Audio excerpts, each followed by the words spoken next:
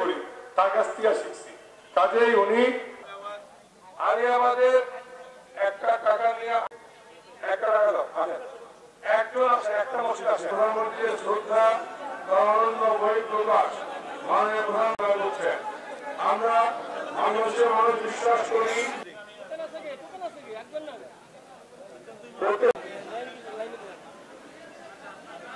এই ইউনিট আরে পিছনে যান গাল লাগার কার পেয়েছে? দূরে যান এই দূরে যান করে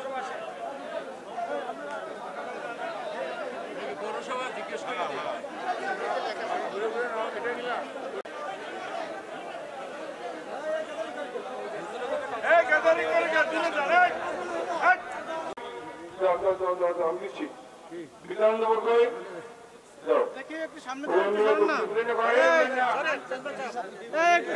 কথা বলছে না যে হজে যাওয়ার আগে আশপাশে চল্লিশ গণ অভুক্তহীন হয়ে পড়া এই মানুষগুলো যাদের কামাই নাই।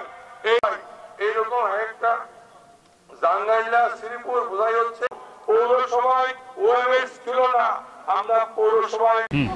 আলহামদুলিল্লাহ, এই দুর্যোগ পরিস্থিতিতে করোনা কোভিড নাইন্টিন এই দুর্যোগ মুহূর্তে প্রধানমন্ত্রী এই মুভমেন্টে যে সময় আমাদের ইমামদের ক্রান্তি লগ্নে এই রকম আমরা কোনো সময় এই ধরনের নিদর্শন দেখি নাই, প্রধানমন্ত্রীর এই নিদর্শনে এবং তার এই পুরস্কারে এবং এই দানে আমরা সকল ইমামরা অত্যন্ত খুশি। ইসলামপুর ফতুল্লাহ ঝালকুড়ি থাকে মাধবী থাকে আমার চার হাজার পরিবারের মধ্যে এক হাজার ভাতা, বিধবা ভাতা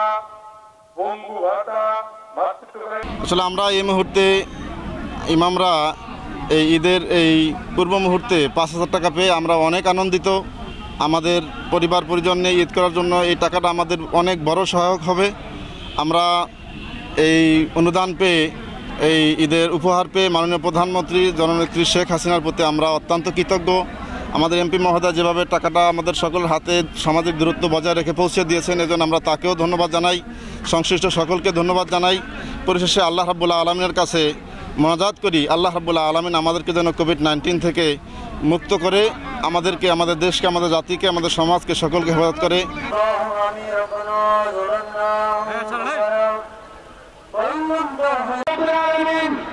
বাঙালি জাতি কোনো সময় নাম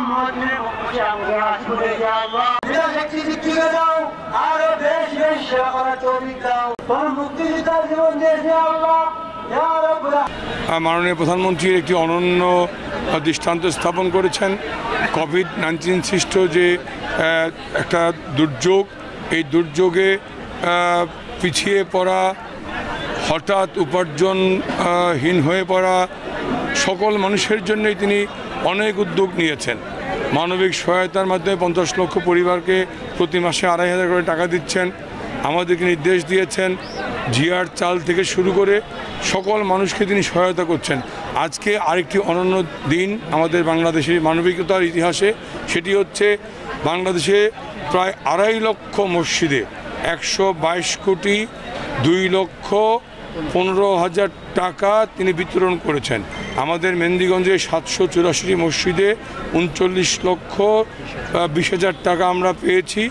সেটি সকল ইমাম এবং মসজিদের সভাপতি সাহেবদের ডেকে এনে সুন্দর করে বসিয়ে ইউন- সামাজিক দূরত্ব বজায় রেখে আমরা সেটি বিতরণ করলাম, যাতে তারা খুশি মনে ঈদটা উৎসব হিসেবে পালন করতে পারে। আজকে আমরা এখানে সকল প্রায় দুই সহস্রাধিক ইমাম, মোয়াজ্জেম হুজুররা এসে মাননীয় প্রধানমন্ত্রী দীর্ঘায়ু কামনা করে মনোজাত করেছেন, দোয়া করেছেন, করোনা ভাইরাস থেকে গোটা বিশ্বকে মুক্তর জন্য প্রার্থনা করেছেন। আমরা প্রায় দুই সহস্রাধিক হুজুর, ইমাম, মোয়াজ্জেম সভাপতিদের ডেকে এনে সামাজিক দূরত্ব বা শারীরিক দূরত্ব বজায় রেখে চেয়ারের আয়োজন করে বসিয়ে অল্প সময়ের মধ্যে হাতে হাতে টাকাটা পৌঁছে দেওয়ার চেষ্টা করলাম। আপনাদের ধন্যবাদ।